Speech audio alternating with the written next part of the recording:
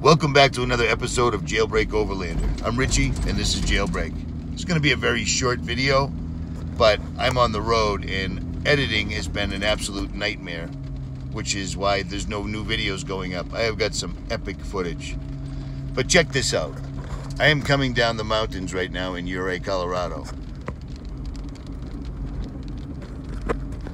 And unlike 90% of the overlanders you see on Instagram, I'm actually in a position where I overlands pretty much full time. So I actually real world test gear. Okay? It gets tested, it gets miles put on it, and it gets four wheeled big time in all the best off roading locations in the United States. Period. Video proves it.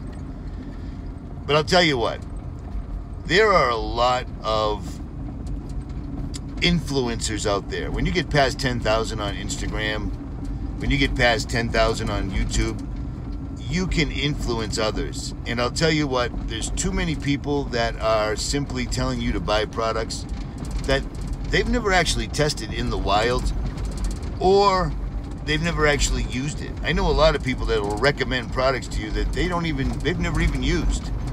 Everything I use on my channel, I've used for at least 25,000 miles on and off road.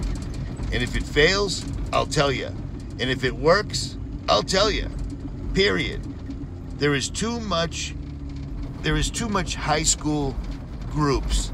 Somebody buys a new vehicle and then you see that vehicle on all the big Instagram channels. You know what I'm saying? That's how they work. And that's cool. But let's do this. I'm going to show you honest reviews from stuff that I bought with my own money and then actually tested in the real world. And that should be what you're worried about. Unless, of course, your entire plan is to simply be a poser on Instagram, and therefore there's plenty of room. There's plenty of room. Play nice, keep your mouth shut, and hashtag and everyone, and you'll get along fine.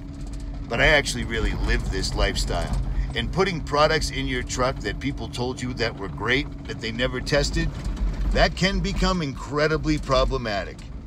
And that's all there is to it. And here's another thing. I've also checked out a lot of Toyota shops across the country, and several of them that I really, really, really helped get big or get noticed over time have kind of unraveled. You know what I mean? Things like billing you and then padding the bill and giving you the, how about this? Giving you the bill for the same job except they forgot they already gave you a bill and they give you another one and it's marked up incredibly? Like if you're going to rip somebody off don't give them the evidence to prove it.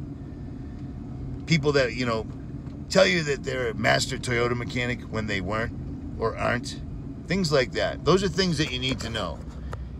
If you want to know what's real stick with this channel if not, there's plenty of other channels out there that'll all tell you how great products are that they've probably never even used.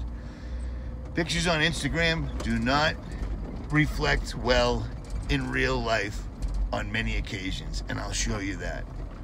So that's all I got for right now. I have got some epic, epic footage from the Ozarks, from Virginia, from New Hampshire and from Colorado, and I'm not done yet.